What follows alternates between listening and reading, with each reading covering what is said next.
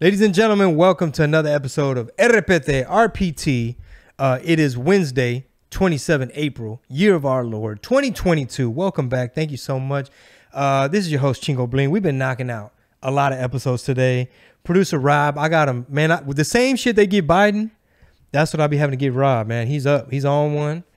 You know, a couple shots of espresso. Next time I'm gonna need a couple shots of tequila. I thought he was going to say a little bit perico, a little bump. I'm down for that too. You know, we do got an open border. You probably get you some. Somebody might have put some in those coconuts. We didn't even know about it. These might be counterfeit coconuts. They might be filled with the good stuff. But yo, thank y'all so much for tuning in. Uh, we have a, a special guest today, Gil from American Cholo Show podcast. I mean, he's on. He's big on YouTube, Yeah. and uh, a lot of people that watch us watch him. Mm-hmm. And we always want to bridge the gap with other people with different opinions. Even though a lot of his stuff, he's very common sense. You know, I agree pretty much damn near everything Yeah. pretty much. Except, I mean, I think he might have. um I still think he like really hates Trump. A little bit. TDS. I was He's still kind of like he was grabbing about a pussy, and Yeah, there was there was that porn star. But but nah, man. Uh, much respect. Um, when we first inter- we talk about it on the interview, but like when we first interacted, it was just kind of like, all right, man. We went off on each other in the comments because you know at the time everybody was jumping on my page. I shouldn't have blocked all those people. You know, I should have left some. It might have been helping my little algorithm. Yeah. But um, but like I said, he was one of the probably the only person because anybody that was trying to like address me or or have an opinion or read my mind or or or like how dare this guy anybody that was like disappointed or whatever like I tried to DM reach out well hit me up maybe I can whatever and I hit him up and he, you know he hit me back and he was just one of the few that's like all right man like Yeah. we still a little little hot around the collar right now, but okay, like on some man shit, sure, I'm down to like. So I was like, yeah, I'll go on your show and explain. You could ask me questions or whatever. But yeah, man, um, I mean, I think he's a, a likable character. He's he's good on the mic. Mhm. Uh, um, he's definitely built an audience, and we want to bridge. Like we want as many Cali homies, Northern Cali, Southern Cali's, like like we need more voices like this. We don't all have to agree on every little thing, but like where's the person from Georgia that's doing what he's doing you know, where's the person from Tennessee or the group from Chicago that's doing what we're doing? Like all these different channels and platforms and voices because a lot of what we did talk about was how do we address some of the issues in our community? Like Mhm. how do we address the working class? How do we get more power in the hands of the people? And everybody's fed up with bullshit, corrupt politicians that just lie. They promise you stuff, then they disappear. Yeah. And uh, he talked about. I I don't want to spoil the episode, but Yeah, yeah. just listen to it. We wanted to do an intro here at the top. Obviously, we got some tour dates to mention. Uh, you probably already heard, but the merch. Show them that. yeah, merch, man, we got a lot of merch, man. Legalized freedom. We got some new shirts coming. Of course, I'm on tour, so uh, we're making we're making all kinds of cool shit. We got some new T-shirt designs. We have some ideas uh, for like uh, official Thea agent member Mhm. T-shirts.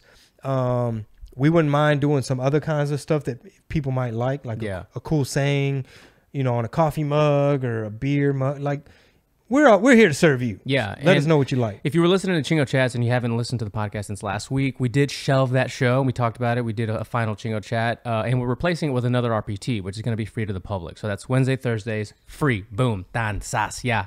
Monday, Friday, extra premium episodes for our patrons. So sign up for that if you want the extra content. And we have an entry tier for the Discord, which is just un dollar, the price of a hot and spicy from McDonald's. You get access to the big poppin' ass general chat. I don't even think the dollar menu exists still, brother. Oh, you know Re- what? you have we have to remember what they took from us, bro. Go ahead and read your dates. I'm gonna find out. Uh, that's something they took from us. But like Rob said, um, brand new tier added to the Patreon. Just go to patreon.com forward slash red pill tamales. A brand new tier. It's only a dollar. And it unlocks a section of the Discord chat room, which is where a lot of the action A lot of the minds Yeah. collaborate there. So we're feeling generous today. uh, Legalized Freedom Tour coming in hot. I will be in Corpus Christi. That is the next stop. That is May 5th through the 7th. Chingo de Mayo Comedy Weekend. May 5th through the 7th. Corpus Christi, Texas. Arlington, Texas at the Improv. May 12th through the 15th.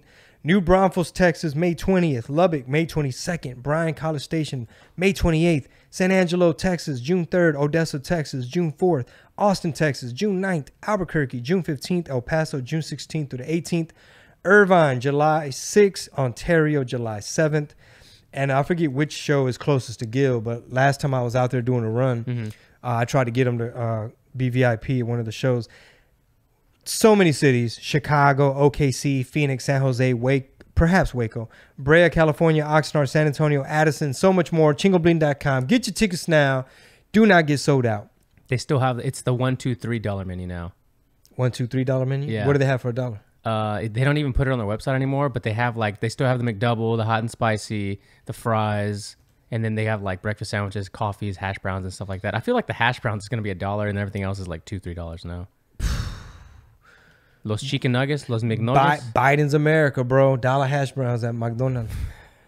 What if they're three dollar hash browns? Fuck you. Three dollar hash brown. Oh, it didn't have the price. It, didn't, Oh. it don't even show the price anymore. Well, you know, Dollar Tree is now Dollar Fifty Tree. You're right. I mean, it- everything's going up, and obviously, it's not all Biden's fault. We can't just put it on one one man. You. However, I the will. way they're printing money, I mean, he ain't the first one to print money, but like, not only are we sending money to Ukraine, we're printing money for Ukraine. Every time I look up, it's like 800 million. You know, we didn't get to talk about a lot of stuff with Gil. Um, maybe next, part two, Yeah, yeah, maybe next sure. time I'll go back on his on his show, God willing. Mhm. Uh, but yeah, man, there's like so many things where where I would love to see our raza. I don't need everybody to like, ah, well, you got to be America first, fool. But maybe become more well versed in terms of like, what are some policies that sound like they're gonna be good for you, but really ain't, versus some shit that they're trying to label as racist or xenophobic or whatever phobe. Yeah. Muslim, Islamophobe, transphobe, whatever. What things are actually going to be good for you, your community, your taxes, your wallet, you, you know, your, all these things we talked about it, at the root of it, it you have to say you got to get educated right you have to want to get educated you have to want to learn about it and it has to come from you nobody can force you to want to learn what's going on you got to finally be like oh this doesn't make sense oh my wallet hurts oh Yeah. you know my community sucks Yeah, why is the gas so high? Yeah. So yeah, uh, concern yourself with it. If not, it's definitely gonna concern itself with you. that's right Like somehow, some way, it's gonna touch you. the, the saying goes get involved with politics before it gets involved with you That's what I was trying to say, but I fucked it up. But yeah, man, like you got these elites um, who get these big donations from other elites. have you finished the laptop from hell Not yet, man. I have so good? many audiobooks. Oh, it's fantastic. okay Dude, I'm on the chapter right now where it talks about how much of a pathological liar Joe Biden is. Um, the minute that he lost his wife and um, how many kids, like one daughter. i believe so he lost a wife and a daughter in a car wreck, and his two sons ended up in the hospital. Well, he made sure when he got sworn in, he made sure we're gonna do it right here by this hospital bed next to these two kids with bandages. He made that the center of his thing. All the files that had to do with the wreck just disappeared because allegedly maybe she might have been drinking or something, might have been at fault. Um, I don't know. I was kind of listening, doing other things yeah but also he would badmouth the other driver who was involved in that wreck, saying a gentleman who decided to drink his lunch instead of Oh, eating. right. But but anyway, just slime ball, corrupt, old school, just racist, like real deal, like such a fucking weasel, smart ass. And now you see him up there like he can barely open just his eyes anymore just fucking smiling in, in your face. It's like, bro, you won't address the fentanyl. You won't address that chemical warfare, that, that arguably genocide. Like a hundred thousand Americans dying a year from fentanyl. I think pretty soon the statistics gonna be like one out of every four Americans is gonna be undocumented. And that's less reason for them to cater to us and our vote because they got new voters coming. It's like they don't need to depend on the dead people and whatever else. It's like they got it open That's a problem. that's a big problem. They got the border wide open, and some people would argue they're like, man, they trying to they looking at those people as votes. They're gonna get, hand them something, promise them something, okey doke them. Meanwhile, us that are starting to wake up, they're like, fuck y'all, we ain't worried about y'all. stock out on Está bien cabrón. So I hope you guys enjoy this phone call and this interview. Um, Gil from watch Amer- it on cbtv yeah, watch it on CBTV. Uh, we just hit 17k subs. Hey. Very excited. I'm very grateful because it's the second channel that once again I'm asking you to subscribe. i'm asking you once again Once again, for your support once again I'm coming at you about to hit the bell. You know what I'm saying? Ding. My my my my YouTube looking real dry, but uh. But yeah, man, we're, we're glad to have Gil on. I heard him recently on on We Don't Smoke the Same podcast. He's making his rounds. He's popping up on a bunch of stuff. Um, but yeah, he's coming from the Cali perspective. He's vocal about what's going on locally, and I, and let us know what you guys think. I think there's a lot to chime in and comment and unpack. Yeah, and drop it in the comment section for sure. Yeah, I, I- I anticipate that these are gonna are gonna do well just because he has his fan base, and then there's like that synergy. So I'm looking forward to it. Thank you guys so much for the support. Shout out to all the members of the Thea. Without further ado, Gil from American Cholo. Special guest today, man. Uh, yo, Gil, you're blowing up, brother. American Cholo's blowing up. I looked at my analytics on my YouTube, and it showed me that one of the main channels that I guess we have in common, we share, or like a lot of my viewers also watch the American Cholo show. Nice. So today, uh, he's returning the favor. He's on our show, and I'd love to go back on your show. For sure, man. Whenever you're ready, brother. Yeah, shout out to Boo Boo. So we have uh we have Gil in the building. What's up, brother? What's up, man? What What's going on, Mr. Chingo, man? Thank you guys for having me on, brother. I appreciate it. I thought uh, I thought you were canceled, but you're back, man. You know what? I might be canceled. I really don't know. I might be shadow banned. We'll find out. I know I'm I'm good in the outskirts of the LA area, SoCal, like Nah, on- man. Ontario you're way. Bro, they love me in Ontario, Irvine, Brea. Still love. They always show Everywhere, love. everywhere, homie. They just love to hate you sometimes, but it is what it is. well, I, I'm not vax, so I don't know if I can go in LA County just yet. Uh, nah, they don't, they don't look for that no more. They- they- well, I don't know. They're coming back with that. That's that's kind of crazy. So, so what are we talking about today, Chingo? Man, I actually I want to talk about um a few things. Just we could keep it random and loose, but sure. um, but one thing you mentioned, I heard you on the uh, We Don't Smoke the Same podcast Yes, with. Uh, XG, the homie XG, and and Ernie Ezone. And one thing you mentioned, you said you were like, dude, I'm getting hate from everywhere. You're like the Republicans, the Democrats, the fucking the homeless community. Like, what's going on? You've been vocal about some things you've been seeing. So uh, I'm I'm a lot in in the center, but I'm a little bit center right. I'm not gonna sit here and lie, right? So yeah, I get it from everybody, man. It, it's kind of tough for me to to actually, I guess, get a whole crowd because a lot of times what you see on the internet is somebody's either gonna hate the left completely or somebody's gonna hate the right completely, and I kind of hate them both because the hypocrisy runs on both sides very deep. With with when you had your thing, you know, and and what most people don't know, and, and I let them know is you and I are cool, man. People think that, we, we, that we were yeah we started off on the wrong foot, and and I apologize. That's mostly my fault. I'm I'm much too old to be trying to gang bang on the internet.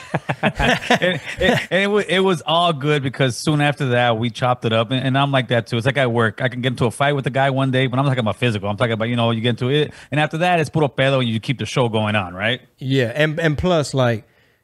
I don't know whose comment section. I decided to just you know run up in there and reply to anybody who said my name, but uh, I have to give credit to Gil because he's one of the few that like were man enough to like you know what bro? Uh, sure I'll lock your number in and then when everybody's blood pressure goes down like we could touch base. Because my thing was like hey I want to have uh discourse and conversation and you know I, I want to be able to explain how I see things or whatever. And Gil was like one of the few people that's like sure all right bet let's I'll hear you out I'll get you on the show Well, so it sounds like Gil was catching some arrows himself, like you were. well G- Gil's very outspoken but go ahead and Gil and and tell yeah well uh, i'm ca- i'm definitely catching like i said on both sides because I, I i will talk crap about you know Biden and his administration and all this stuff is going down. I mean, you can see it. I'm sure you'll rub it in my face. You got gas prices through the roof. You've got inflation going through the roof. You got homelessness problem going. That's governor out here. So I'll talk all kind of stuff about the left wing and how they're running the country. But I'll also bring some stuff up on the right that I don't like. And you know, I don't really bring it up now because people say, well, "Why don't you bring it up now?" Because uh, right, because Trump is not in office or Republicans not in office right now. So I usually criticize whoever's in office to kind of show people that both sides. It's kind of like it's two doors, but they go to the same room. And and most of most of uh, politicians are just like WWE stars. They sit there in front of the cameras and fight and talk all this crap. And behind closed doors, they're friends. They go to each other's weddings. They go to each other's uh, kids' recitals. Yeah, they're, they're all they're all buddies. But in reality, I feel like we're the ones getting scammed, which is the middle class. But we continue to fall for the okie doke. So I'm I'm not making friends on the left. I'm not making friends on the right, but like I said, I'm not here to make friends. I'm here to have those conversations, and and the and that's another thing, Chingo. When when people and the and and unfortunately the left does this more than the right. And I'll admit it. What they will do is they will sit there and as soon as you have a disagreement with them, they're gonna start screaming at you, get out of here, and, and come up with all that crazy stuff. We're not gonna get anywhere that way. In order for us to get wherever we want politically to the promised land, let's say, we need to sit there and stop and say, all right, guys, put your pants on. Let's sit down here like big boys and have the conversation. What do you think we can do with like immigration? What do you think we could do with the homelessness problem? Instead of just pointing fingers, and that's typically what happens on on local level politics and on higher level politics. People just want to scream at each other. That way, they have a reason for people to get upset and want to vote for. And that's how it kind of goes. Yeah, and one thing uh, on the Republican side, uh, on that party, you have a lot of controlled opposition. You have like basically like liberals in conservative clothing, where they're they're not really they get this um, a lot of the, the more MAGA America First, like your Mar- Marjorie Taylor Greene, Matt Gaetz, more like fire breather Jim Jordan type of people. Like we need to investigate Wuhan and and what's up with Fauci. Like those folks. Um, you know, they call out like there's a big rift and a big split with the Republicans where like some they just don't fight hard, they don't push back, they always want to meet halfway. You know what I mean? They're not really doing shit for free speech. Elon Right. Musk is trying to do more for free speech than these motherfuckers. Hey, Gil, I got to ask you. So, to kind of go before we move forward, I personally want to go back a bit to that original podcast that you did because somebody sent it to me when you had you had uh, made it and you were addressing all the things Chingo was talking about. Yes. Where were you coming from at a point in your life that made you want to go on that long rant? Well, the rant on chicken, I took it down by the way. Well, I, I pissed. I, I probably pissed him off. I was on there talking Yeah, shit. Chingo, Chingo definitely pissed me off, and he admitted to it. So what happened was this when Chingo first came out the closet, right? Not in that. the conservative closet. He's slowly yeah. still coming out. Yeah, no, that's the hard one to come out of. Yeah. he came out of the conservative closet, and myself, I was coming from two from two areas. One area is a big fan. I come, I've been hearing Chingo Bling since day one since you know since i guess he blew up and this was you've been blown up for 14 15 maybe 20 years chingo very long time so i'm coming at a fan standpoint and then i see him uh, post some stuff and then he said something about I want all the "Oh, smoke. yeah, You got all the yeah, smoke. before the smoke. I, and I try to actually, you know, have a conversation with him. I said, hey, Chingo, this and that. And I came at him very respectfully. And it was pretty much, yeah, I want all the smoke. Like, pretty much, he didn't say quiet, but pretty much was, fuck you, I'm Chingo Bling, go my way. I was co- I was copy pasting where I was like, oh yeah, with Joe Biden sniffs little girls' hair. He was on the hundredth arrow. He was like, he has his last breath. He was going to let it all out. Yeah. And the thing is that I was replying to him. I said, "Fuck Joe Biden. I don't care about Joe Biden." I said, "See, you got the wrong guy. That's the problem." And I was, I didn't know what Chingo was like that. I was like, "Not, not that you were." I was like, "That's the problem. Most people they want to sit there and assume because you don't like their guy that you like the opposite guy." And I wasn't that guy. I was the guy that says, "No, I don't like either one of these guys." So. I'm driving, and that's usually where I get my fuel to do stuff. Like I don't have anything scheduled. I just say, you know what? Perfect. This guy just gave me fuel. Uh-huh. I at work. I'm like, I'm taking off early. Where you going? I'm gonna go fucking bang on Chingo Bling. That's exactly what I said. And I'm That's driving funny. home. I, I like, call Boob. I okay. said, dude, I'm gonna bang on Chingo Bling. I'm gonna go live right now. I'm gonna bang on this fool who pissed me off.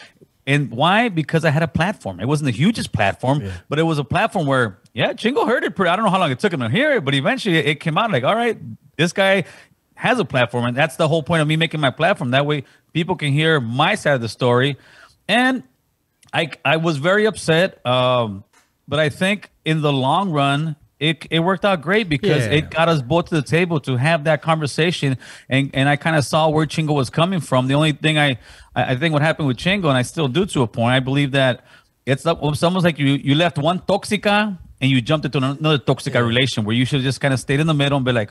All right, Yeah. hold on, because because I think your heart was broken by the Democratic Party, kind of like how I felt about you leaving, not even the Democratic Party, just kind of leaving the Chingo Bling thing behind, even though you didn't completely. Yeah, no, man, it's all good. Um, I feel like we have a lot in common, and and uh, I like how you've been speaking up a lot about uh, what you've been seeing locally in Cali. Uh, the other day, I saw a documentary about Gascon, the uh, DA. Yes. Ha- have people been talking about that? Like his, oh his approach? Listen, I, I was talking about Gascon during his uh his first election when they were recalling. I forgot what the African American lady, and she was actually grew up in Watts. She's a local from here, and they were calling her a sellout because she's trying to enforce the laws. And I had a I had an interview or a podcast with uh, Alonzo from Street TV. He's been around forever, and I told him, Alonzo, you get Gascon in here, crime is going to go through the roof. And he's no Gil, but the he's telling the, the analytics and all the the, studies. science, the data. I don't care about the data. I was a gangbanger on the streets. I used to be the guy carrying guns. I used to be that vato. And what I can tell you is when you get a DA like that into office, it's going to make crime go up. Because one thing right here, you can have somebody breaking into your house, catch them trying to break into your house with a knife or something. If but they don't come in the house, they're not going to arrest them. You can have you can steal stuff up to a thousand dollars or less. They're not going to arrest them. These guys that were that were breaking some of these window storefronts and going in there, they were getting picked up. They're getting released the next day. In other words, all the homies, all the bangers out here know Gascon is weak on crime. He's he's coming in here like a like a savior. That's not your job. Your job is to prosecute criminals. But when the guy prosecuting criminals is trying to comfort them and baby them, they're gonna run all over him. And that's what's happening right now. In Los Angeles, it's reminding me, Chingo, of the late 80s into the early 90s. And I've been saying this. It's going to come, if, if Gascon stays in office, hopefully he doesn't, it's going to come to a point where crime is going to go even worse. And eventually you're going to get somebody who's going to overcorrect and they're going to be like, we need to bring three strikes back. We need to start locking mm-hmm. people up again. It's, it's a situation where listen man we already know if you break the law you're going to jail it's, it's nothing new and this guy is coming in here like i said he's too soft on crime and me personally he's got to go yeah and see and you're speaking from like like a big homie point of view. You have your background. You weren't always the angel. we know now. I still live in the hood. I still, I, I just recently came. I, I, live four blocks from the heart of my hood where I grew up. Right. I go get my haircut. I go out and I'm driving away. What do you see? I just see all my neighborhood hit up. It's still the cycle still continues. Right. Unfortunately, so I know firsthand what's going on. It's it's also a place where now you get caught with a gun it's no big deal. They let you out. Before now, you get caught with the gun. If you're an ex-felon, you're gonna go to prison. That's not the world we live in out here. And I don't I don't know if these guys really believe that they're helping, but I have to kind of believe, God, these guys kind of think that, but they're living in a fairyland. Look at the whole country as a whole. After the BLM movement, quote unquote, after they had their movement, what do they do? They demoralize the police department. This is coming from a gangbanger. If you talk to most people that were criminals back then and have know good lives now, they'll tell you the same thing. If you're soft to criminals, they're gonna walk all over you because that's what they do. If they if they suck up their own homies and do all kind of stuff to their own friends, you think they're gonna do with somebody they don't know? And that's the thing.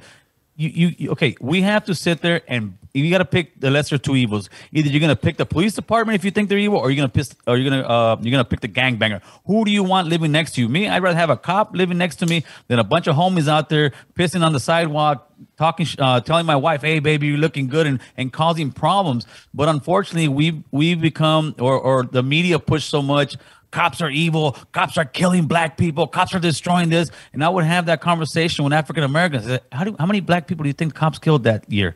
Oh, 2,000, 3,000. I think I said no. I think 2021 or 2020 was 19 unarmed African Americans. When you start getting those numbers and they're like, huh? Why? Because the media pushes the narrative that they want to push at the time, and they continue to do that, and it's an injustice to all of us, man. Yeah, we say that a lot on our show, where it's like the left and a lot of the uh, Democrat politicians who try to pander. It's almost like, do y'all care? Do y'all understand that y'all are lying? Like, there's a billboard out here in, in this area. This is mostly like a black neighborhood. And um, there's a billboard with like a local representative. Uh, it's like one of those Texas state representatives, something.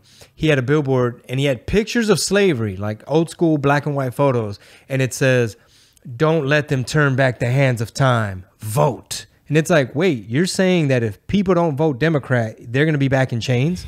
Like you're using these fear tactics instead of saying, well, can we talk about black on black crime? Can we talk about what what BLM did? They didn't do not one cookout, not one backpack drive. All they did was bought mount uh, mansions and stuff. Uh, and then I want I want to go back a little bit. You mentioned the time era in LA. I think you said late late 80s, early 90s. Right. I, I lived in East Los a couple years ago, uh, maybe about eight years ago or something for about six months, right? I was in the valley far with, with your boy, right, your boy, right. you know, from work, and uh, for the first six months. And um, anyway, I would hear the homies. It's a homie named uh, Kike out there. Um, Kiko out there has a studio in, in, East LA, and they would be like, "Yo, in the in that era, like the late '80s, like it's either I don't know if Colors had just came out." But they said shit was active. Every it was gang bang central. I I myself started banging and so I, I, I caught the whole nice peak of it, right?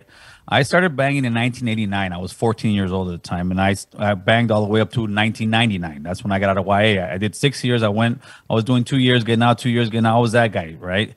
And if you look at gangs as a stock market. It was the highest bull market in gangs history, and it definitely had a lot to do with the movie Colors. As soon as the movie Colors hit LA, hit everywhere, everybody and their mama wanted to be a gangbanger, and they did. They joined gangs. Out here, it was like this. And you don't see that now. Thank God.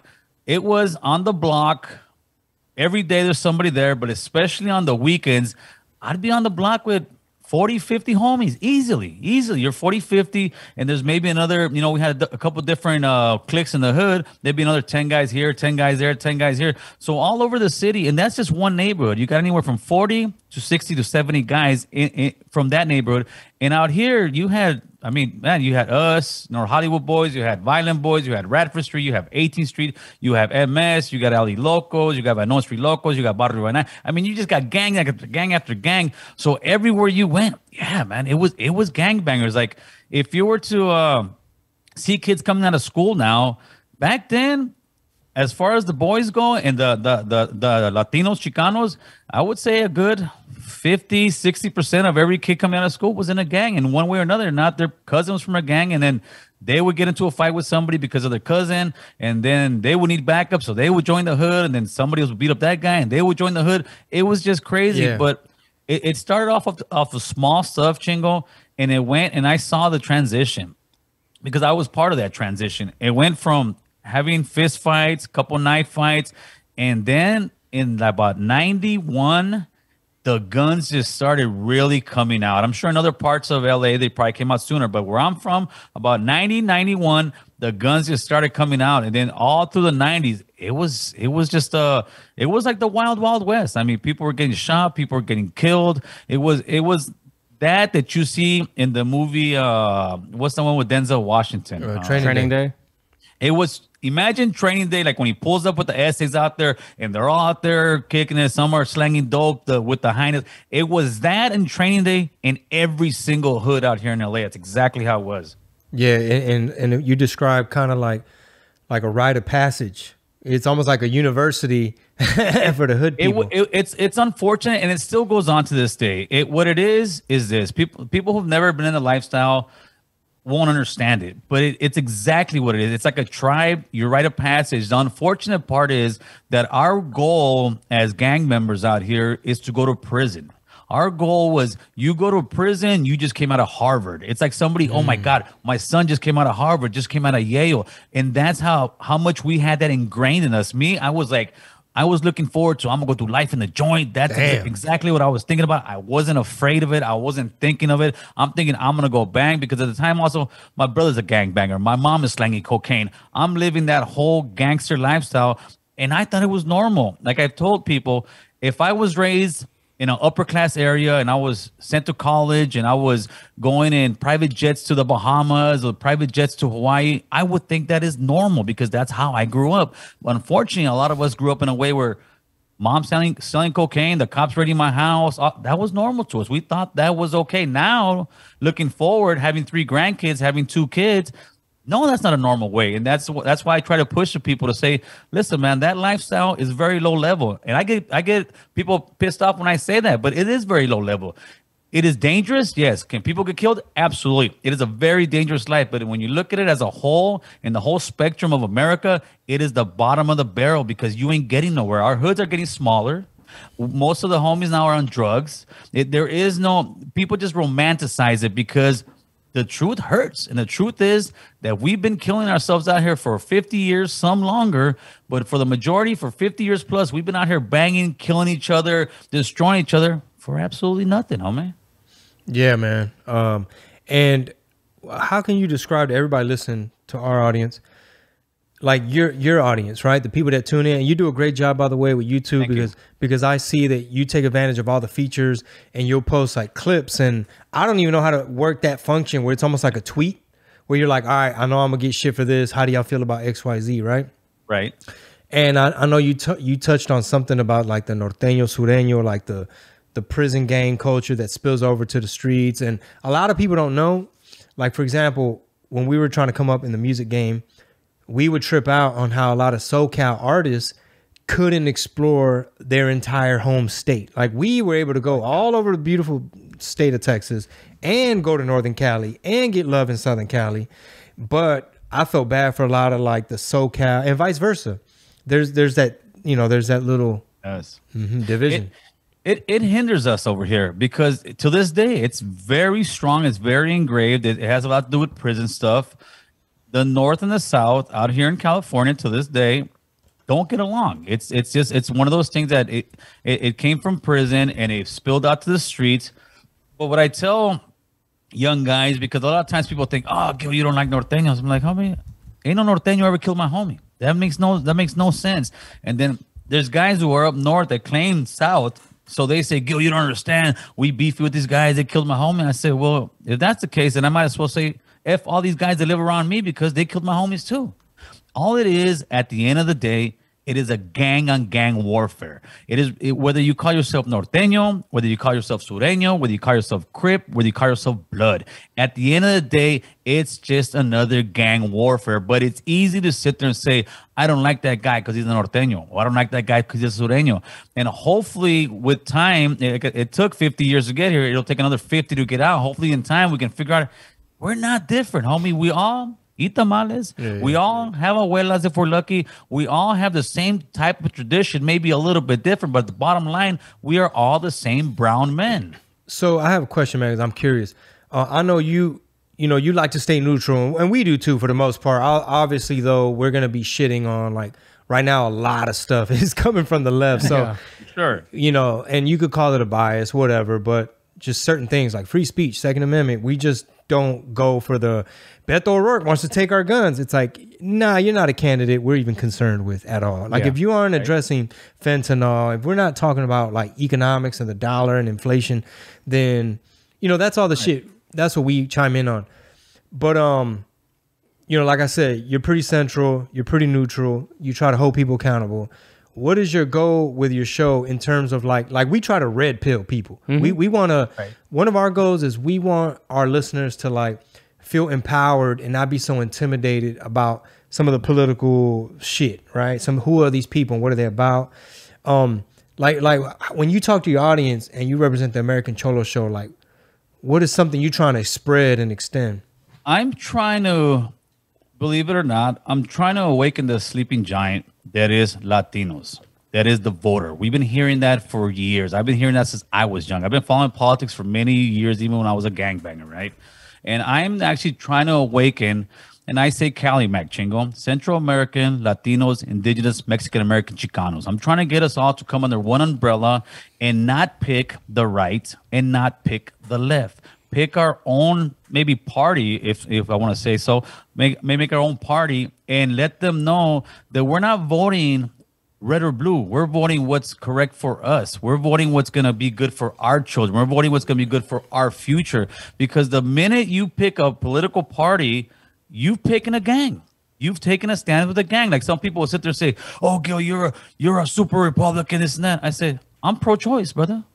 I can be pro-choice and still have right wing stuff, right? Or, or or conservative stuff. Or they'll they'll sit there and uh and the or the liberals say, you know, I'm I'm I'm too much to the right, I'm too much to the left. But the thing in the reality is no, I'm in the center, and the center is a much sweeter spot where you can sit there and actually look at it from uh, all sides. And unfortunately, like I said, when people go too much to one side, you, you can't see it. So my, my main goal, Chingo, is to politically get people educated because a lot of Cali Macs are not educated when it comes to politics. They just vote however their parents taught them to vote or however their mom taught them to vote or they just sit there and they'll get one news clipping and say this is horrible that's horrible no we need to actually start educating our youth start educating our people on listen man like for for instance i'm gonna pick on the democrats right now the democrats out here in california supposedly love minorities and especially right here in los angeles let's say right? And i tell everybody who runs la liberals right? They're like yes okay. How much is your rent now compared to 10 years ago? Dude, it's almost doubled. Yeah, you can't afford a house. They're kicking you out of all your neighborhoods. They keep telling you they love you. They're going to give you free stuff. They do. They'll give you a little bit of free food, a little bit free that. All the while, they're letting all these big developers come in here and say, "No, we need more housing for the homeless problem. We have homeless problem. We don't have a homeless problem. We have a drug addiction problem." And that I'll even put to the right. There isn't one politician out here, Chingo, that really has said, "Hey, man, we've got a huge drug problem. We need to get these housing down." It's always something just to hustle the people to be able to develop more, get more tax money, all the while saying, hey, but we care for you and we love you. In reality, most politicians, I'm not going to say all, but most politicians, the only thing they care about is getting reelected. And yeah. me, I care about getting our people to figure out, no, we're not going to elect this guy. No, we're not going to this guy. And my thing is this I guarantee you, if we can come together to agree on the stuff that we can mostly all agree on, which is safe streets for our, for our families, right?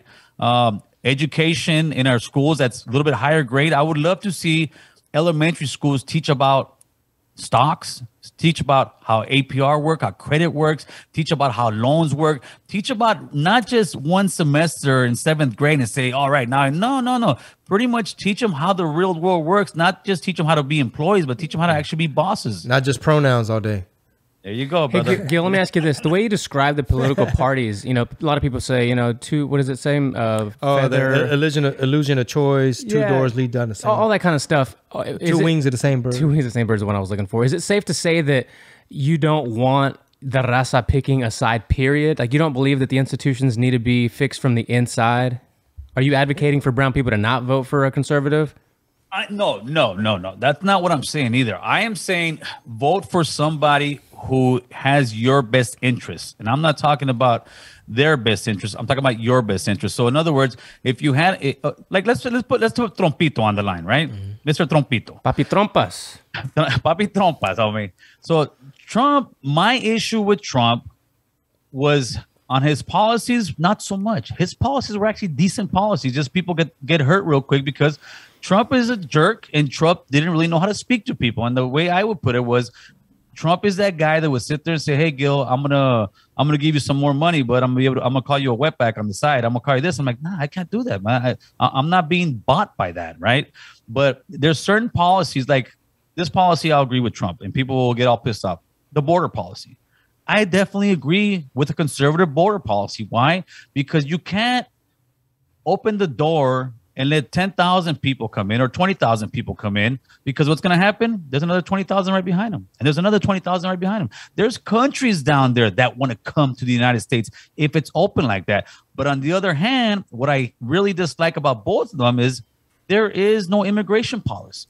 Nobody has touched immigration since Ronald Reagan, and they will sit there and speak about it. And both this is both right or left. They'll sit there and speak about it, but they won't do it. So if if I were to see a conservative Republican, and he's really talking about, hey, man, we're going to get some immigration going. We're going to really find an immigration policy that works for everybody. And I really believe, and I have one, I'll make a video on it. I do believe there's an immigration policy that works.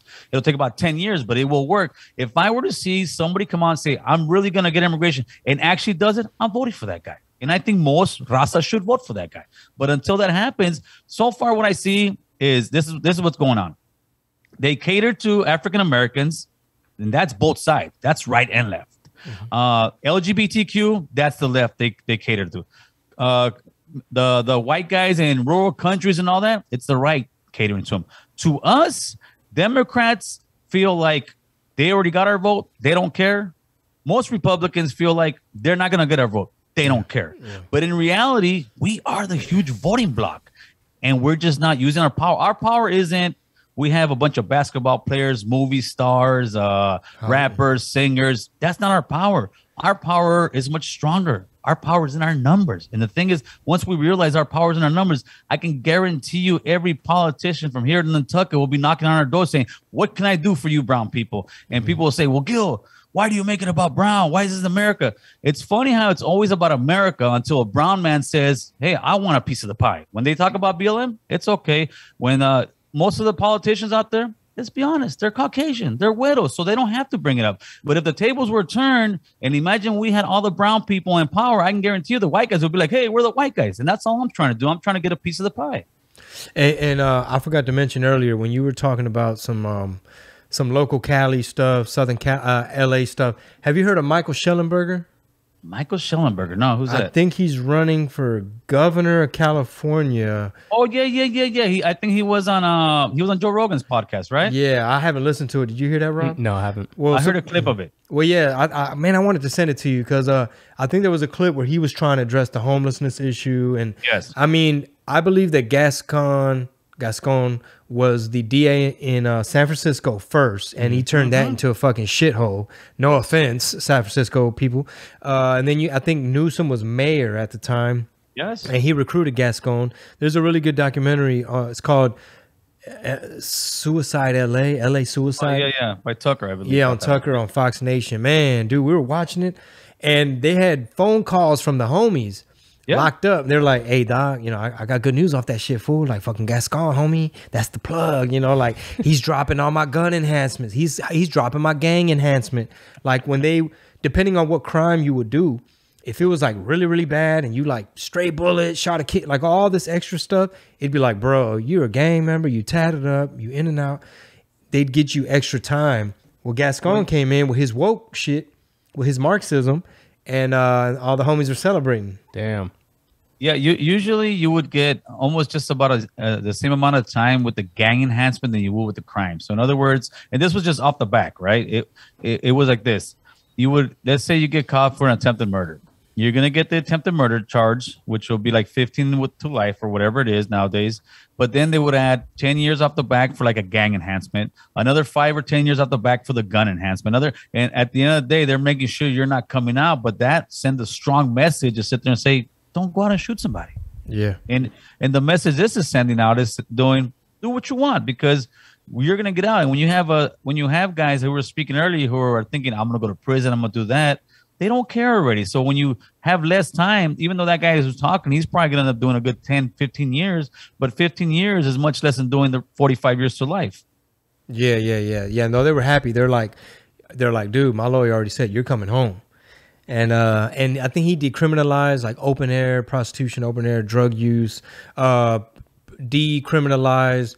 Which is basically making it legal, like petty theft, like you know, stealing from the Oh, yeah. CVS. No, uh, like I said, out here, it's it's my biggest my biggest issue out on my block, and that's why I be saying the green the homeless got a green light on me because I be banging on them fools. As soon if, as soon as I see an RV, I haven't seen one in a minute. Knock on wood, but as soon as I see an RV, I'm going out there. Ching. I go out there and knock on the doors. I be like, "Hey, homie, you got to get this thing going, man. This ain't that kind of party. You want to go party? Go up a couple blocks." And sure enough, the LA is a beautiful city, but it is becoming a shithole. There's tents everywhere. There's RVs everywhere. People are robbing every day. And what's funny is that a lot of the robberies are happening in the rich liberal areas of West Hollywood, Beverly Hills, all these Santa Mon- I think Santa Monica last month or uh, yeah, maybe last month or the month had the highest crime rate of LA, which was comical because Santa Monica is a very nice area. Yeah. Why? Because people are literally driving from the hood to go rob people straight up because And- they don't yeah. care. and it's beachside property. It's beautiful. So people that live there, they're paying high rent and they're having to deal with that nuisance of like, as soon as they opened it up to where, all right, you can eat on the patio, enjoy your brunch, you know, and they're sitting out there on the side of a restaurant and they try to look at the waves and it's all tense and mental Yes. health people. Hey, Gil, I got to go back a little bit, uh, just to go back to the the political side of things. When you were gearing up for the 2016, and you don't have to say who you voted for; it doesn't matter. But when you're gearing, you. He voted for him. uh, when you were gearing up for, That's how he got me. posted it. I had a list of notes. Oh yeah, let me tell you why Biden is wrong. Hey homie, I voted for me. I'm like shit. I got nothing. oh, when you when you were gearing up for 2016 versus 2020, what was the attitude going into to each one? So I guess starting with, tw- with 2016 and then 2020, Uh, as far as I think your 20 candidates, yeah, 2016 was uh was it Hillary and, and Trump? right. Uh, with when Hillary and Trump went, did I? You know what? No, when Hillary and Trump went, I actually voted for Hillary Clinton. Wow, That one I did. I voted for Hillary Clinton. So that'll tell you. I did vote for Hillary Clinton, but I did really enjoy Trump. I thought I thought Trump coming into the race was the best thing that ever happened in politics. And the reason I thought Trump coming to the race because he showed the hypocrisy on both sides. He showed pretty much, I paid you money, I paid you money. You guys all would talk to me. Trump was at their wedding. I think their their wedding, their daughter's wedding or something. They're all friends. And then as soon as Trump started running and showing how how much how hypo- hypocritical these people are, that's when they all started turning their back on him, and not just the Democrats. You got to remember, Sean Hannity is real good buddies now with Trump. Sean Hannity hated Trump's guts. Fox News hated Trump's guts. All those guys hated his guts, but they had to fall in line because he got elected. So I actually went for Hillary. Once, um, once uh, he went with uh with Joe Biden, I put down American Cholo on the bottom of that thing, and I voted for myself. I refused to vote for either one of them, and the main reason I could not get myself to vote for Donald Trump was for his comments that he did starting off his political race. Because I don't think there's any other race that he could have done that to. Could you imagine if Donald Trump came out and said, Jews are some of the most cunning people. They're gonna get you for your money. Don't sign a contract without a lawyer. Those people do this. Those people do that. The Jewish community would have destroyed them. The black community would have destroyed them. Most black people robbed. They're on welfare than this, and that's kind of what he did to it. It's not even kind of. That's exactly how he started his his political uh, run for office. And I just that was a pill that was too hard for me to swallow. Yeah, no, he he triggered me too. I was pissed off. I didn't like him. I didn't like Crooked Hillary either. Uh, Right. I didn't. I didn't start looking at things different until like psh, right before 2020, basically like pandemic and all. That. I started seeing shit like, oh shit, the news is fake, and they're framing. Oh, yeah. You know, they'll frame you and they'll leave out context. Um, and I have a, a I have my own little laundry list of things that I disagree. You're like, well, Trump, uh, he picked this person and this person, you know. But yeah, half the Republicans don't like him because Yeah. he's America first, and you know that's how I see it. And a lot of them are just America last. They're just like controlled opposition or whatever. But um, what what else we want to talk about? Well, let me let me ask you this. This is kind of more of like a like a grandiose type of question, but do you feel like there's an existential threat to America as a whole? As far as what? What do you mean? Either it's you know how they do those polls like right track, wrong track. Like, do you feel like Are we on the right, right now track? we're on we're, we're we're coming off the rails right now. The the the the American the America that's going on right now, I think it's it it got way overcorrected by the left. It got way overcorrected as far as uh the woke movement. Um it's it, as far as like open borders, it, it's they think they can hug their way out of problems. They think they can give money and just and that'll that'll solve the problems. Like like for for instance out here in California, right? they're giving so much money, and that was the the, the I think that thing you were watching. They're they're spending billions of dollars out here, and this is what I say: I can go out to the hood right now. I can give let's say let's say we do a focus group. Uh, uh, I go out to let's say hundred gangbangers that are gangbangers. I give each one of these gangbangers five thousand dollars a month to each one. You think they're gonna stop gangbanging? No, they're gonna buy guns. They're gonna buy dope. They're gonna they're gonna do more of the stuff that they were doing. So throwing money at a problem isn't to solve it. We need to sit there and actually make stuff happen.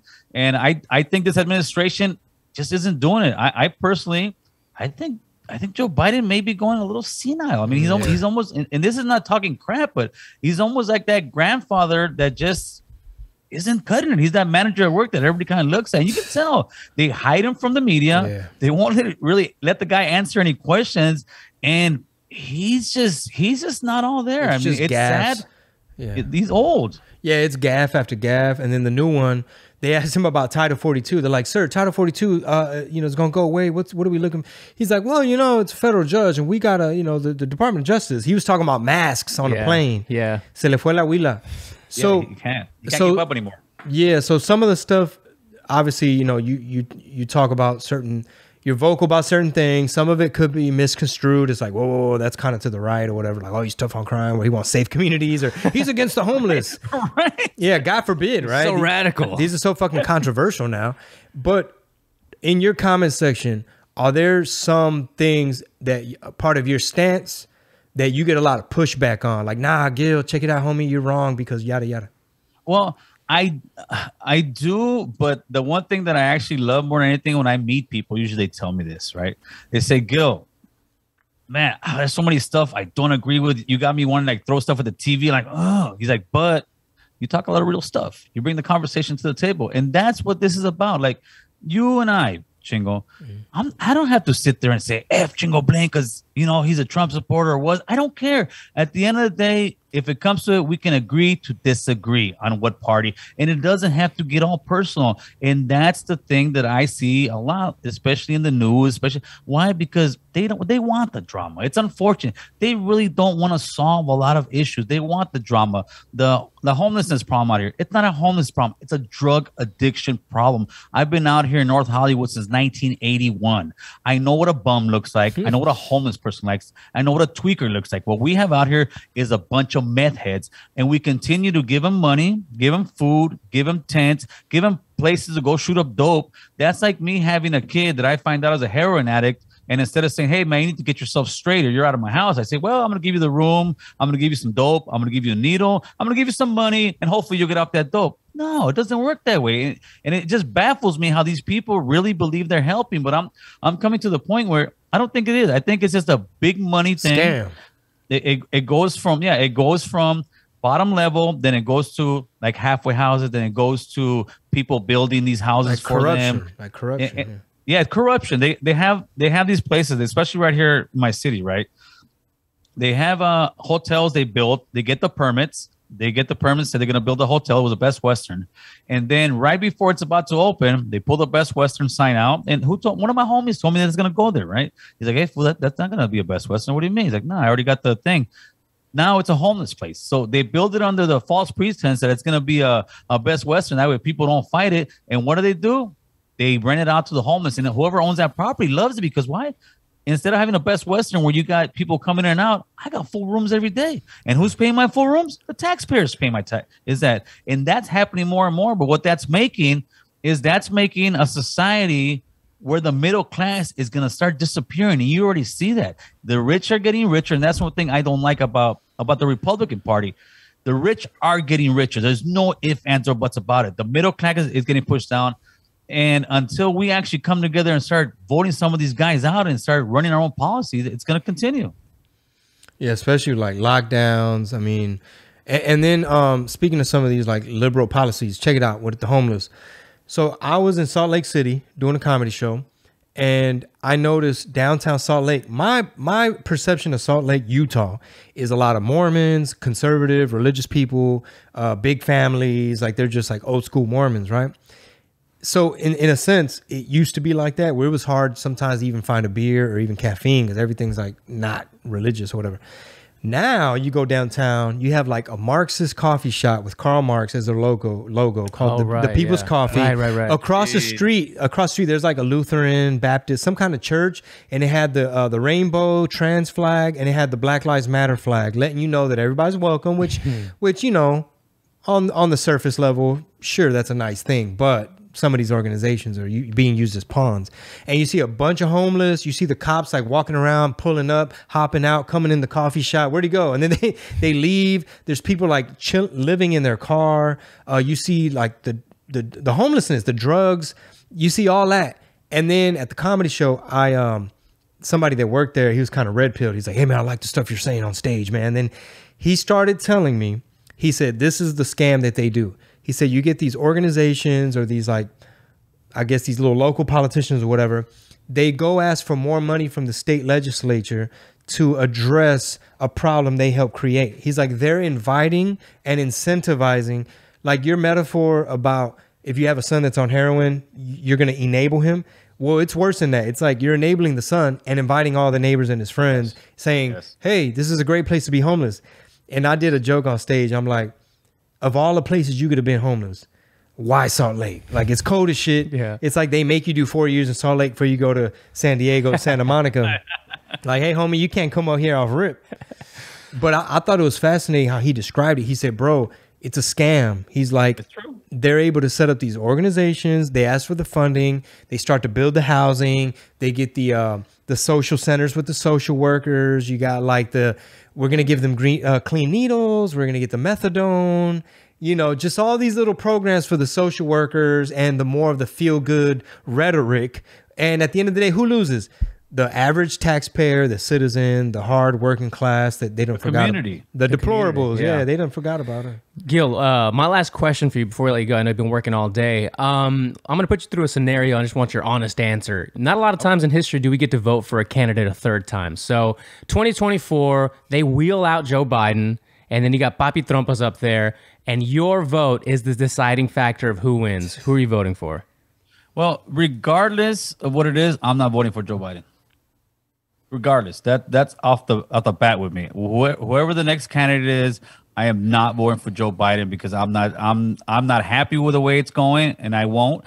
But will I sit there and say that I, I won't pull a lever for Trump? No, I'm not going to say I won't pull a lever for Trump. I just hope I just hope Trump actually comes out with uh with uh with more respect and actually gives us the same platinum deal he was trying to give the brothers. Yeah, that We that bring should, it up all the time, yeah. Uh, We always talk about the platinum plan, and that would have been nice. None of us three here on this Zoom call could have participated in the half a trillion dollars that they were trying to extend to one particular group, and they denied. I mean, a lot of black males and a lot of black folk did vote for Trump, which I mean, I know that the media painted him as a racist and yada yada. Right? I'm not a mind reader, but uh, I'm just so surprised that like more black people didn't say, "All right, what do we have to lose?" Like they don't have the burden of immigration, DACA, Dreamers, the border, being called a sellout, coconut. They only hit them with like, "Well, you want to be white, you're cooning for the man." You know what I'm saying? You're a sellout. That's how they control us. Well, I think it was the it was the BLM movement that con- controlled them because and, and I told people this I said this happens every four years. Every four years when somebody's going for election you're gonna start seeing it. Right before the election you're gonna start seeing the same thing and BLM's gonna come back. All of a sudden uh, African Americans are being killed because African Americans have such influence across the board to every race because they have the rappers they have the basketball players they have the football players and they got them all in line pretty much and if they don't go that route they start losing endorsements right? So I- I think that's what ended up pushing them. But yeah, where is our platinum plan? Because I even when even when they were did that, I made a video on it. They say this, oh, Ice Cube's a seller. I said, Ice Cube's no seller. I would have done the same thing. He would have called me, hey, Gil, you know, American Cholo, hey, would you want to come and talk to us? Yeah, it's business, people. Leverage. And that's what that's what people don't understand. Politics is 100% business. It ain't nothing personal, ain't nothing love. It's business. And we have to approach it as such. It's a business. I'm not going to go in there. Everybody I work with and, and, and do business with, I don't like them personally sometimes. I may hate their fucking guts, but I know they pay their bills on time. I'm not going to take them out to dinner. I'm not going to go to their barbecue. I'm just here to do a job. And if I do it right, I'm getting paid. And that's the way we need to approach this political stuff. Yeah, and I I, I finally forgave Trump, you know, because I was triggered when I heard the they're rapists, murderers, que la chingada. Y la cagó el güey. See, no, sí se pasó, and and what didn't help is how they they took it out of context and they ran it because they're like, this is perfect. The Yeah. Democrats are like, did you just hear the part we could cut out and just put that bitch on a loop? He'll never ever gain an inch with Latinos. Hey, but, you know what? Uh-huh. Because I, know you got a lot, a lot of conservative uh, uh, viewers, right? My thing is this though: how is it that and and, and he Trump is uh God, what's his name? Uh, should I have his thing right here? Hold on, right there, man. What's his name? Uh, ¿Quién es ese from güey? Caddyshack. Uh, is that John Candy? I can't really Bill see. Murray? No, the- I can't see. Who the the main character from Caddyshack? Man, we're all getting late. Oh, okay, Uh, okay, okay.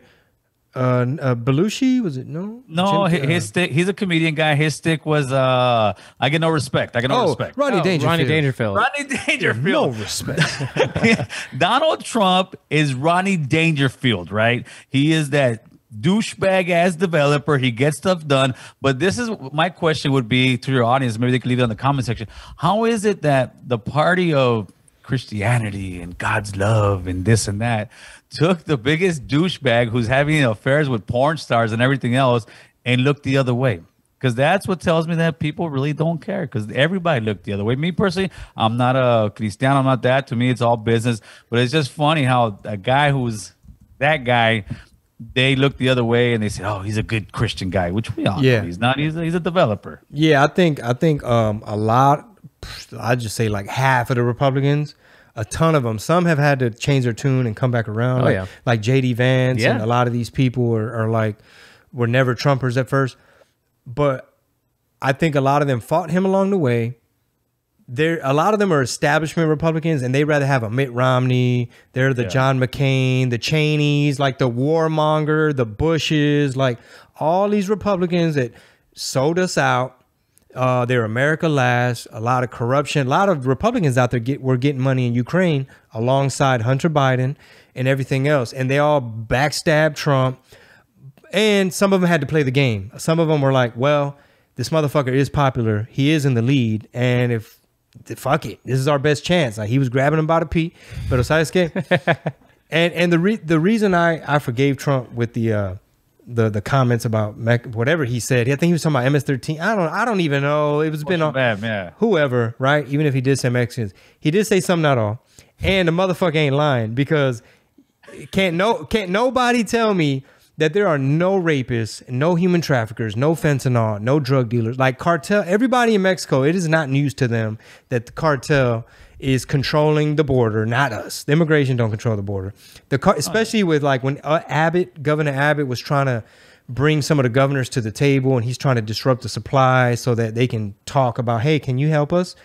Um, Uh, you know, that was the right away. If you want to see the beat of the country, you just have to look at South Texas, all of South Texas, to know how much the Latinos are supporting the conservative movement. Call it MAGA, call it Trump, call America it whatever. first. America, yeah, call it whatever it is. There, I mean, the entire South Texas coast. I is think the red. woke shit is really fucking up the. No, the the woke, yeah, the woke stuff has really turned people off. And no, listen, it's not so much the MAGA, but the more conservative, even out here in California, it's growing. It's growing bigger and bigger every day, and that's actually a good thing because people are getting, you know, the, the woke stuff is is is destroying us as Yeah. far as as far as how much they're pushing it into us. They're they're trying to shove it down our throat, and a lot of Raza just doesn't like it. And and I stand with them. I'm I'm like I said, I'm to the center, but I, I lean a little bit more to the right because of that. Well, you know what? I heard it described that. I think this was a pretty good description. I was like, oh shit. Uh, I forget who it was, but he basically said the Democrat Party miscalculated the Latino vote uh, based on the trends and the shifts that are happening politically, right? You know, people waking up, the conversations are happening. He said the Democrats saw the Latino vote as, oh, they see themselves as people of color. Therefore, you put them in the same bucket with the black folk and anybody else that we consider to be oppressed and marginalized. All the gay, trans, black, Asian, todos, todos, anybody who ain't straight white male, they put us all in this one bucket, people of color, and they assume they're like, we just had this racial reckoning, George Floyd, BLM, the, the summer of love, the peaceful, mostly peaceful protests. They're gonna still be with us. But the miscalculation is that Latinos started to realize, well, hold on, homie, I don't necessarily I'm down with burning down and, and CHOP and CHAZ and all the different purple hair and the all the pronouns and you know just they're kind of like we kind of like law and order and we kind of like a strong economy. Yeah. So at the end of the day, that's a that's a major factor.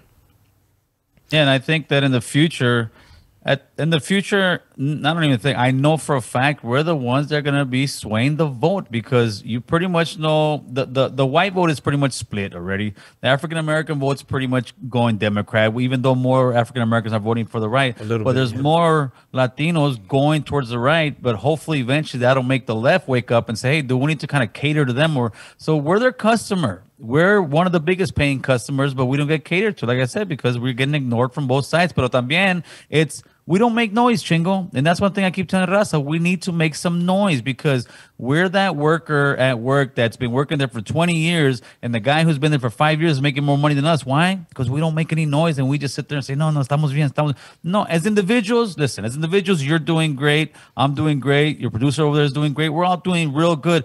But as a whole, as a collective, I don't think we as brown men and women are really pushing the narrative that we should, and we shouldn't be we shouldn't be shamed to say we're proud to be brown. We shouldn't be shamed to say, hey, what about our people? Because everybody else is getting a piece of the pie except for us.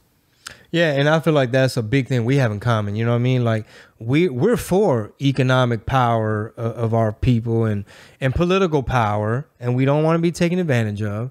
And like you said, they need to cater to us and earn our vote, and not just assume, take it for granted, or anything else. Like I did this event recently for uh it was like a conservative super republican thing that they invited me to go like do 15 minutes of stand up and the governor was there and i'm up there roasting austin texas the capital because they have a ton of homeless and it's very woke and uh, that's where the governor's mansion is so i didn't hold back like i didn't hold back i'm talking about his backyard uh, i'm cracking jokes about eh, you know inflation the gas price you know uh, este mucha- es biden's cognitive decline Yeah. and Putin tax.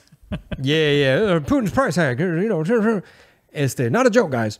And um, and you know what, man? Everybody is was very excited to be like, yo, man, Lat- like Latinos, you know what I mean? Like they're out here, like you know Jesse Olguin from Lexit. Yes, of course, Lexit.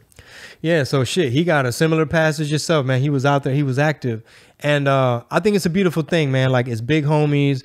Um, you know, we all come from like a little bit different background, different states. But at the end of the day, our heart's in the right place. We definitely just want the best. We're not sometimes people assume and they imagine things. They think they're mind readers and they think, oh, you hate your people, you're a sellout, you're racist, you're a Nazi, que la chingada. and it's like, yeah, way, this exageras. No, and that's just people who are ignorant, don't know much. Like I said, people still think you and I like we I hate you or you hate me or whatever. like, no, man, I talked to Chingo. We got we that's just over with. We had that conversation, and that's what we need to do. We need to have those conversations because we have so much more in common. Whether it's you from Texas, somebody from New Mexico, a Latino in Denver, Arizona. we have so much more in common, have so much of the same traditions and values, and we just need to kind of let people know, hey, man, we have a lot more in common. We need to start coming together. And that's on, I don't know if you know, on May 21st, we're actually having a meeting out here in North Hollywood. I've invited all kind of people, and we're just gonna sit down and just have a conversation about us and how we can progress in America as a whole. And people say, "Well, you're crazy. It's not going anywhere." Well, if we don't try, if we don't start, then it's never going to happen. You know, the, the tree will never grow if you don't get that work and plant that seed. And I'm trying to plant that seed to make us actually get politically uh, educated, brother. For sure. Hey, on that note, man, we appreciate you. Uh, everybody listening, go give uh, his channel a, a subscribe, leave a comment, check out some of the videos. A lot of good content. Uh, how often do you go live and stream and upload? I, go- I go live like probably once a week. I'll take uh I'll take phone calls, which is great. So if anybody and, and I love it because people want to disagree with me, and I tell them call in the show, call in the show. We can have that conversation. So I take live phone calls on usually on Tuesdays. I'll probably do a live tonight, and then we'll do interviews like every week or so. I don't like I said I don't really put myself a schedule. Just if I get something burning in my in my belly, then, then I'll make a video. So yeah, you guys can tap in American Cholo podcast or just American Cholo on YouTube, and on IG is the Real American Cholo, and the same thing on TikTok. Yeah, for sure. We didn't get a chance to do a deep dive like uh, Honduran American, uh, the story of how your mother brought you. Uh, uh, was she sent for you, right? Like she came Yeah, yeah. first? Yeah, she, uh, my mom left me and my brother. I was born in '75. She left me. It had to be about '78. I was three years old. I, I didn't really remember her. Uh, she sent for me, like I said, in 1981. Uh, she came here illegally, and then in '81, me and my brother actually came in a plane over here. So I, the last thing I remember was in was uh here. I mean, when I first came was out here in 1981 and I didn't really call my mom mom Chingo until maybe uh maybe like eight or ten years ago, soon after my brother's death. Eight or ten And- years ago? Wow, bro. Yeah, uh, it, it was. I, I, I, I just like I said, we. I grew up in a different environment. She was the one slanging coke. I was the one gang banging. It was. It was a. I was. It was a, a place like where the last time I got arrested was in '97. My mom comes to the door. She goes, "You got any guns? You better get them out. The cops are coming." And I'm over here with the homies getting the straps, and they're raiding my house. Not for me. They're raiding my house for my mom's. Mm. And if you if you saw my mom and spoke her, you would never in your life believe it. She's like maybe now like four foot ten, soft spoken lady, real sweet. She's a beautiful woman. And you know, she would sometimes tell me, even to this day, Mijo, I'm so sorry for not being that lovable mother because she she raised us to be tough. Like Yeah. it was like you got to be tough. These are the streets. This is how you do it. But that's what made me survive. And, and I tell her, I said, Mom, you gave me two of the greatest things I would ever ask for. You gave me life, and you brought me to America and made me a U.S. citizen. That's right, man. American Cholo, go check him out. Uh, much success, brother.